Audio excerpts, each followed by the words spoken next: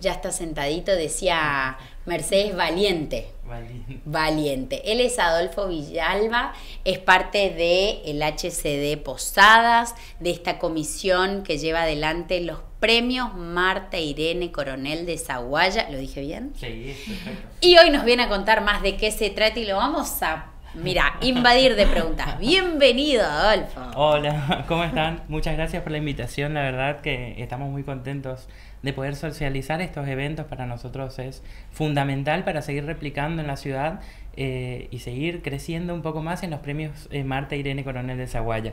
Que lo pronunciaste muy bien, dicho sea de paso. así que Vamos, vamos.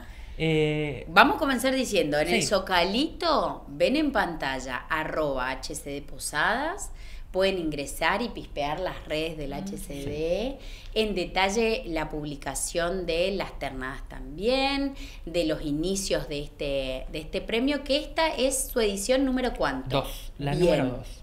Comen- eh, le- les comento así un poco para ir in- eh, incursionando un poco en lo que es. Estos premios, los premios Marta Irene Coronel de Zaguaya, se instituyeron el año pasado a través de una ordenanza presentada por la concejala María Eva Jiménez. Este año eh, le toca a la concejala Mariela Dacharí, quien es presidenta de la Comisión de Inclusión y Equidad de Género, y eh, junto a nuestro equipo nos toca llevar adelante eh, estos premios que son muy importantes y que la verdad, de paso, aprovecho para mandar los saludos de la concejala, que por cuestiones de agenda no pudo venir, pero bueno, parte del equipo somos acá. Que es una super mami, que viene sí. siempre, se recopa. Sí, que manda sus saludos siempre, está Siempre. acompañando. Eh, Marie manda, chicas, estoy corriendo y le digo, no te preocupes que te entendemos, Mariela, mamá y basta. Claro. Y después todo lo demás. No, una, ca- una capa, Mariela, la verdad.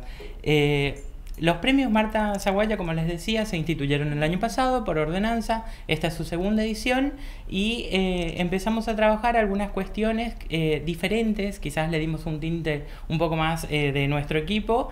Eh, trabajamos algunas modificaciones que tienen que ver con la participación popular.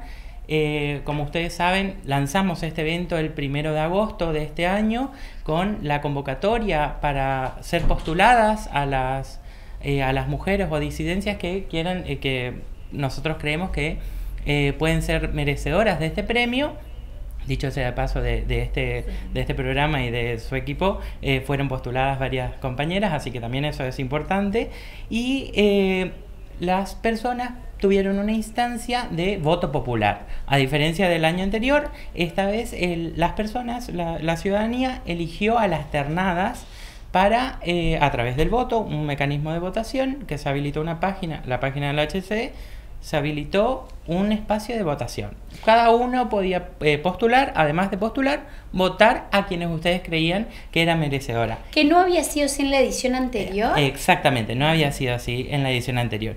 Eh, era por cantidad de postulaciones, Sí. vos quedabas seleccionada para la terna. Ahora lo que nosotros hicimos, además de seleccionar, eh, de, de postular, que la gente vote a quien crea que sea merecedora. que Y está bueno primero porque te permite, te permite movilizar, socializar, cada uno pudo compartir con familiares, Sí. amigos, con gente. En los que- grupos, claro, todo, los sí, distintos sí. grupos. Y es una forma también de ir socializando este premio, este reconocimiento, para dar a un- conocer. eh, para- además de instalarlo para hacer un poco más conocido, ¿no? Si bien esta es su segunda edición, eh, mucha gente se movilizó y eso ahora le voy a comentar un poco los datos que tenemos respecto a la participación, que nos pareció importante porque realmente se movió mucho. Entonces la gente podía votar a quienes creían que eran merecedores, mujeres y disidencias o grupos, por ejemplo Mamá Gans, el, eh, Somos Diverses, eh, son eh, grupos de personas que también pueden ser premiados. Entonces eh, se habilitó el espacio de votación, la, la- ciudadanía votó y eligieron ellos a las ternas para que el jurado, perteneciente a los que son los miembros de la comisión, puedan elegir a la destacada que por ordenanza tiene que ser. En esto quiero aclarar un poquito para nosotros, eh, para todo nuestro equipo. Sí. En realidad eh, queremos eh, decir que el hecho de que nosotros podamos conocer, compartir, escuchar las historias y, esto, y las trayectorias y las conversaciones, para nosotras todas son destacadas, son dignas de destacar y la verdad que eso es muy importante porque quizás en ámbitos donde todo el tiempo estamos trabajando, las mujeres están trabajando, las disidencias también, por ahí no son muy reconocidas, ¿no? Eh, son invisibilizadas muchas veces y estos espacios nos permiten eh, conocer, reconocer y darnos una pausa para destacar a las mujeres que realmente trabajan todos los días por una sociedad un poco más justa y mucho más equitativa. Entonces, eh, la importancia que tienen estos premios son de total relevancia y por eso para nosotros era importante seguir conociendo y seguir instalando esto. La verdad, Adolfo, era hermoso entrar a la página cuando uno podía votar, ver el resumen, de, la, la descripción del trabajo de cada una de estas mujeres, tomarse el tiempo de conocer qué, hacen eh, quiénes son, por qué se destacan, es hermoso y que sean todos de nuestra ciudad también es bellísimo. Pero te digo una cosa, digamos, y es importante cómo se instala de un año al otro y que esto tiene que seguir creciendo. Hubo 301 postulaciones este año, de las cuales salieron 115 personas y grupos, ¿no? 115 mujeres y disidencias y dos grupos que fueron postulados a los premios. De los 115 se eligieron a las ternas, a las tres por cada una de las categorías, que son 10 y votaron, les digo este dato, 24.420 personas. Un montón. O sea, muchísimos votos. Eh, y eso es, eh, es importante porque, como decíamos, ¿no? Sirve para socializar, conocer, reconocer las historias y, y, para nosotros es importante poder destacarlas porque la verdad que estas mujeres eh, trabajan día a día para construir una posada mucho más linda, mucho más inclusiva, con un montón de personas, más y mejor queremos compartirte, a vos que estás del otro lado, que estás mirando un poquitito, todo el, material que estamos pasando tiene que ver con esto del perfil de cada ternada, de cada persona que va a estar en este reconocimiento, que se hace cuándo, cuándo se entregan los, premios. ¿En qué consiste? Yo te digo que igual todo esto que ves acá. Eh, ahí está. visto. Esa es eh, las 30.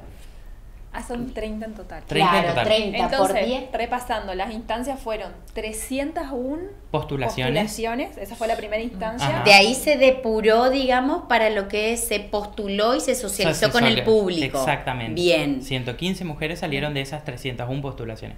Porque yo puedo postular a dos mujeres o, claro, sí. vos y yo me pueden postular a la misma persona. Entiendo, perfecto. claro. Todos postulamos. Sí, sí. La verdad que no sé cuántas, creo que en toda la categoría postulamos a todas. Pero fue hermoso. fue hermoso, la verdad que es cierto y muchas mujeres de, de distintos ámbitos y de, que trabajan en distintos eh, eh, espacios de la, de la ciudad y, la verdad que estuvo muy bueno. Entonces, eh, primero se postuló, tuvieron una instancia de votación, la gente eligió a las ternadas y los concejales y concejalas de miembros de la comisión votaron a una que va a ser distinguida con un premio que es una estatuilla de Marta Irene Coronel Zaguaya que ahora comento. Eh, las tres van a ser reconocidas con un diploma y un cuadro de honor y además algunos regalos que, que fueron obsequio y, ahí en Nobleza Obliga agradecer a todos nuestros colaboradores, a, a eh, Claudia Gauto del Ministerio eh, de Cultura también, a la gente del Parque del Conocimiento hacía mucho, no quiero nombrar a todos porque si no me puedo olvidar, pero eh, eh, agradecer a todos quienes nos acompañaron y ayudaron a la gestión de, del Consejo Deliberante en representación de su presidente Horacio Martínez. Y eh, estos premios se van a hacer el 10 de octubre, ahora el martes que viene, en el auditorium del Ministerio de Cambio Climático en el cuarto tramo de la costanera. A las 17 horas eh, ellas van a estar citadas un ratito antes, pero eh, a las 17 horas comienza el evento con la premiación y entrega de distinciones para estas mujeres que, vemos en pantalla, ¿no? Wow, Mechi, vos estuviste el año pasado en la primera edición Ternada. Sí. Estuviste Ternada también. Sí, estuve en la categoría, en ese, el año pasado, en la edición del año pasado estuve en emprendedurismo y economía eh, popular que fue hermoso compartir con, con las ternadas y con mis compañeras, hermoso. ¿Y este año? Este año sí, eh, estoy en la categoría, eh, le miro a él como... Sí, sí, sí, va chequeando la ¿no? Sí, sí. Eh, empresarial, sí. Sí, empresarial. Ah, con el programa Nacer, ¿no? Del, sí. sí, así, que... Wow, con él. Gracias. Sí, sí, sí, la verdad que es espectacular. Claro, yo por ahí no asocio el nombre con él, pero estuvimos eh, charlando con Mercedes, digamos, sobre la importancia que tiene esto para, para nosotros y, y, la verdad que es muy satisfactorio conocer los trabajos que hacen y la verdad que, bueno, ustedes tienen el, el canal, ¿no? Pero hay muchas mujeres que no tienen ese acceso eh, a, para que se reconozca su, sus trayectorias y está muy bueno, la verdad. Recordamos, Adolfo, entonces, dónde pueden pispear más para aquellos que estén eh, atentos del otro lado de la pantalla, que nos estén mirando y que sobre todo ya se quieran ir preparando para la edición número 3 para el año que viene, para que estén atentos. Claro, claro, para las convocatorias. Así eh, es. La información está eh, en una solapa de la plataforma de la, del HCD, es hcd.posadas.gov.ar que es la página oficial del Consejo Deliberante. Ahí van a encontrar una solapita que dice Premios Marta Irene Coronel de Zaguaya, la información, eh, las finalistas, o sea, ahí en esa solapa tenés toda la información. El año que viene eh, esto va a transformarse en una noticia y eh, van a estar las eh, inscripciones, postulaciones de eso para esta nueva edición que va a ser la número 3 que obviamente se va puliendo, se va trabajando, cada concejal le va dando su impronta o el titular de, de la comisión eh, pero nosotros la verdad que fue un desafío poder asumir la responsabilidad de, de, llegar a, toda la ciudadanía y eh, encontrarnos con estas historias tan grandes, tan, eh, tan buenas y por sobre todo tan dignas de, de, reconocer, pero también que nos permiten reflexionar un montón de cosas sobre qué, qué proyecto de ciudad queremos. Así que la verdad que muy contentos por eso. Un gracias especial a Adolfo Villalba, asesor y parte del equipo organizador de los premios. En tu nombre agradecer a todo el equipazo por haberse sumado, por haber acercado la, propuesta. Un beso enorme a Mariela. Ah, y felicitarlos porque está saliendo hermoso. Eh, esperemos, el cierre es el, el, broche de oro, pero la verdad que con la participación nosotros, eh, a nuestro equipo, eh, nos llenó mucho de orgullo y la satisfacción. Y por sobre todo, les digo una cosa, que nuestro equipo es bastante em, emotivo, así. nos gustó conocer las historias, nos comprometimos un montón conociendo a cada una de, de las participantes, leyendo su, su historia y la verdad que para nosotros es un orgullo y vamos a seguir apostando a que, estos premios se sigan reproduciendo, se sigan conociendo y por sobre todo se instalen aún más en la sociedad y que más mujeres, eh, más disidencias sean reconocidas por su labor diaria. Así que eso. vamos a estar haciendo la cobertura. Sí, ah, vamos a estar ah, haciendo la cobertura. Sí, sí, Genial. Sí, obvio. Empató vamos. Sí, lo que nos consultaban es... Eh, quiénes pueden participar ese día, ir o no al premio, eh, eso nos estaban consultando, ah, familias, digamos. Sí, sí, sí. Eh, por una cuestión de que el auditorium es bastante chico, tiene es una capacidad, es, bellísimo, es bellísimo, tiene una capacidad para 145 personas sentadas. Por tanto, eh, desde la comisión y la presidencia de la comisión hicimos eh, una depuración, digamos, porque también recuerden que están invitadas las autoridades para la entrega de los premios, eh, las ternadas tienen que ser las protagonistas de, este, de esta instancia y los grupos de los asesores y familiares. Para cada ternada son dos invitados por una cuestión de espacio.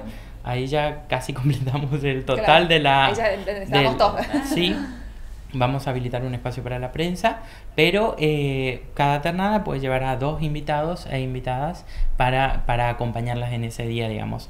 También eh, quiero comentar y aprovechar la oportunidad que me diste el pie porque me estaba olvidando, de eh, que va a haber un, una muestra de emprendedoras afuera del, del, Ministerio de Cambio Climático, así que pueden pasar por ahí. Además hay una muestra fotográfica con las descripciones de cada una de las ternadas, que eso también va a ser parte del evento, pueden pasar, visitar. Eh, pero en el auditorium, por cuestiones de, espacio, van a estar las ternadas, sus familiares eh, y las autoridades. Bien, gracias especial nuevamente. Pasó por aquí Adolfo Villalba del HCD Posadas. Pispea sus redes sociales arroba HCD Posadas y enterate más de esta premiación, de estos premios Marta Irene Coronel de Zaguaya. Lo estás viendo en pantalla. Chicas, tenemos consejitos para darle. y ¿Eh? Estás hermosa. Ay, gracias. ¿Vos dónde estás allá arriba? Mira. Estoy allá. Churrísima. No, hermosa. Así que vamos a hacer el aguante.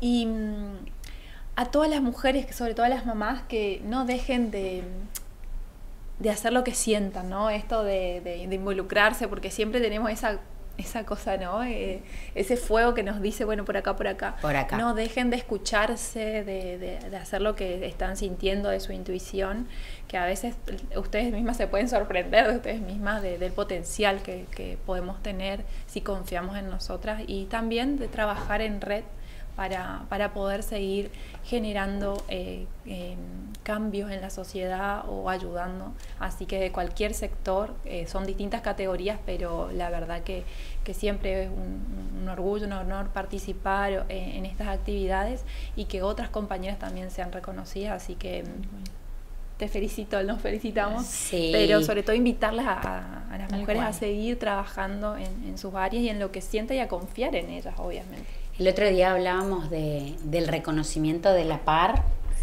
eh, y la verdad que llena de energía.